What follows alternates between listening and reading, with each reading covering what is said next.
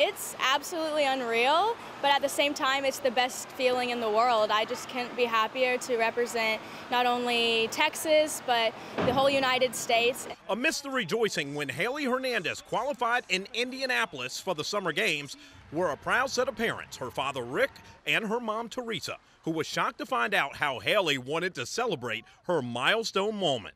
We asked her what she wanted afterwards. What she like, you know, do you want to go have, you know, a you know steak or whatever? It was kind of later at night, and she's like, I just want a milkshake. The simple joys of a young lady who is sky high. After just graduating from Southlake Carroll, she departs for the Summer Games in mid July and then heads to UT in August, where she'll major in biology. How do you, like, still be an 18 year old? I think maintaining my relationships with my team, with my coaches.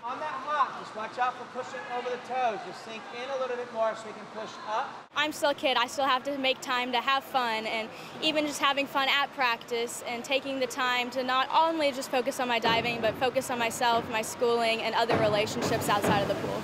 That includes her relationship with her brother Nathaniel, a diver himself, who paved the way for Hailey. And now it's Hailey inspiring other kids to realize that any goal is within reach.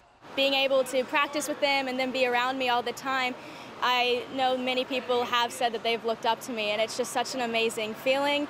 And I know that going forward, hopefully, they'll be able to say, hey, she did it. She was so young, and I can continue to push and reach my dreams too. Uh, more so than, oh my gosh, my child's an Olympian, like, the fact that my child is like a role model is like that's so precious to me. And as Hailey steps onto the three meter diving board in these Olympics, she may do so in front of no family and no friends if they're not allowed in the stands in Japan. As a 13 year old, Hailey went to China for a competition minus her family. If she has to travel to Tokyo by herself, it won't be anything new. But trust me, she will not feel like she's all alone.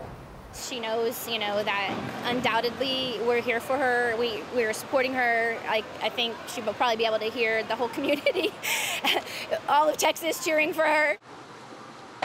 And to that, Southlake Carroll's Hailey Hernandez, who could end up carrying the hopes and dreams of our entire nation, wants them to know one thing. This is just the beginning.